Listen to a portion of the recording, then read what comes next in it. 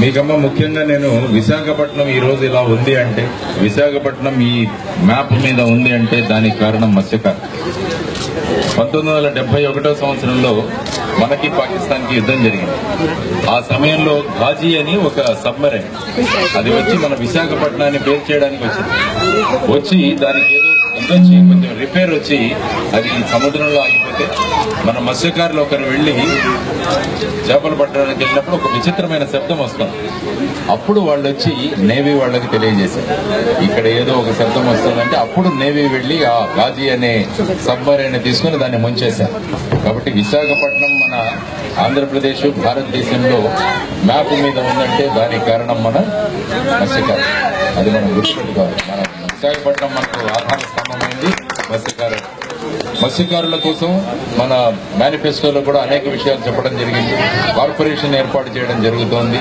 ఆ తర్వాత వచ్చేసి డీప్ సీ ఫిషింగ్లో వెళ్ళాలన్నా మీకు నెట్లు ఇట్లాంటివి కావాలన్నా కూడా వాటన్నిటికీ కూడా జనసేన ప్రభుత్వం మేనిఫెస్టోలో తెలియజేస్తుంది.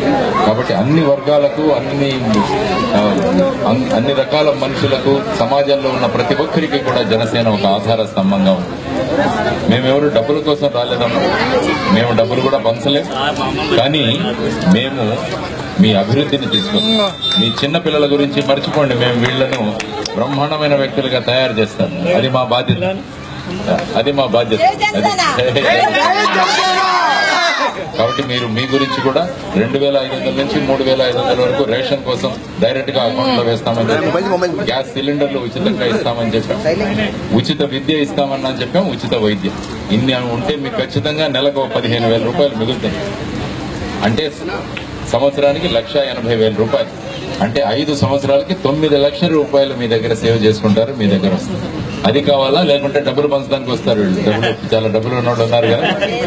వాళ్ళు ఇంకా మనకి డబ్బులు మనం మనం నిజాయితీ ఉన్నవాళ్ళు. కాబట్టి అట్లాంటి డబ్బులు ఇచ్చి మోసగించే మోసగాళ్ళు వస్తారు. ఆ మోసగాళ్ళతో మనం పడకూడదు. భవిష్యత్తు ఇచ్చే జనసేనతో మీరు ఉండాలి మన గుర్తు గాజు గ్లాస్. మన జనసేన గుర్తు గాజు గ్లాస్. ఎందుకంటే మేము ఏ నిర్ణయం చూడండి లోపల బతుకు ఉందని తెలిసిపోయింది. ఇదే స్టీల్ గ్లాస్లో పడింటే లోపల ఏముందో తెలియదు. కాబట్టి మేము గాజు గ్లాస్ వాళ్ళం మనం అంతా కాబట్టి లోపల ఏముందో మనకంతా తెలుస్తుంది. అటువంటి పారదర్శక ప్రభుత్వాన్ని మనం ఇస్తాం. కాబట్టి మన MLA candidate doctor Sandeep Panchakarla నేను ఎంపీ క్యాండిడేట్ లక్ష్మీనారాయణ. మన ఈవీఎం లో మా ఫోటోలు కూడా ఉంటాయి. కాబట్టి ఈసారి మనకు ఫోటోలతో పాటు ఎలక్షన్ సింబల్ కూడా ఉంటాయి. కాబట్టి వెళ్ళి మన చెయ్యి గాజు గ్లాస్ మీద గుర్తించండి. ఓటర్ని గెలిపిద్దాం సార్. ఇంతకు ముందు ఎమ్మెల్యేలు ఎమ్మెల్యేలు ఎంపీలను గెలిపించేవాళ్ళం. ఈసారి ఓటర్లను గెలిపించబోతున్నాం. అది మా జనసేన. మన yes, జై జనసేన. జై జనసేన